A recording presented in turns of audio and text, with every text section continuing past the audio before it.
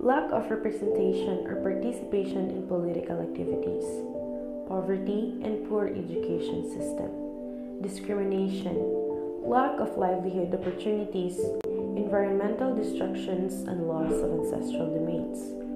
All these are the issues and problems that indigenous people struggle with, striving and seeking rights that are blatantly disregarded and violated.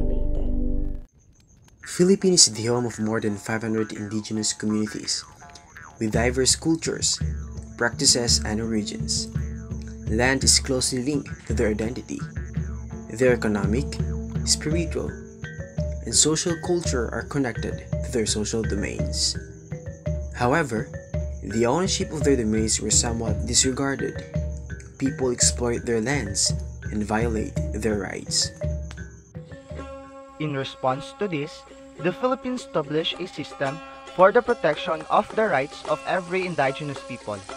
One of these is the Republic Act number 8371 or also known as Indigenous People Rights Act of 1997.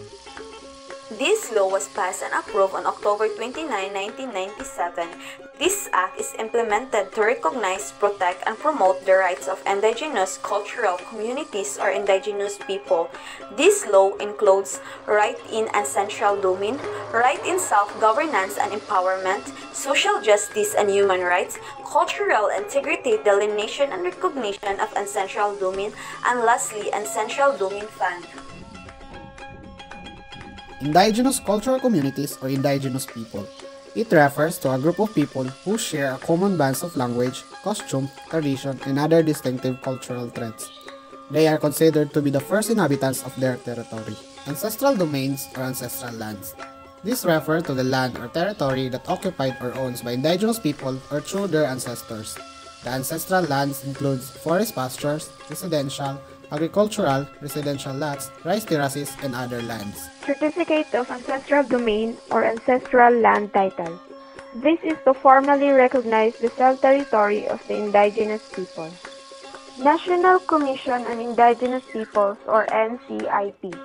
This refers to the office who are obligated and responsible for the formulation and the implementation of policies, plans, and programs for the indigenous peoples.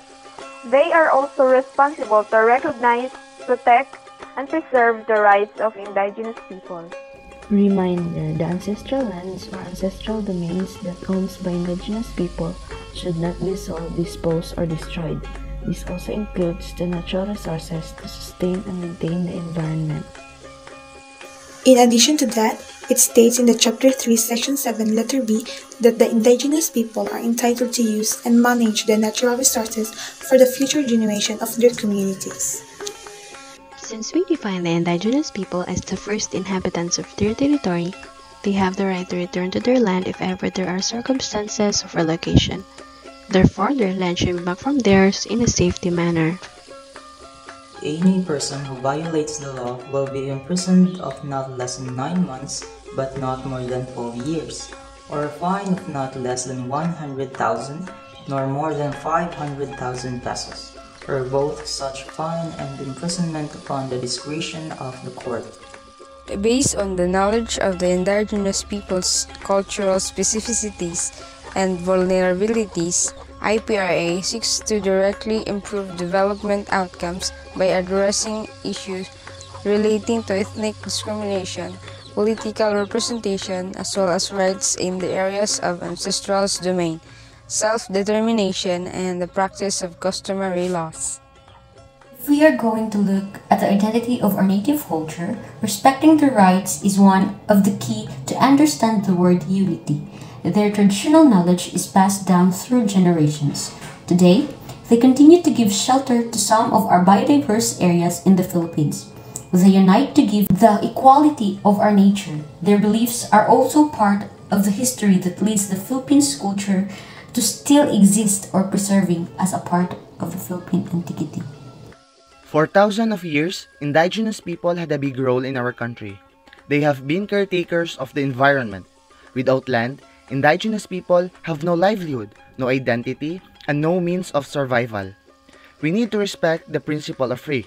If their land rights are recognized, it would be an immeasurable remedy for them.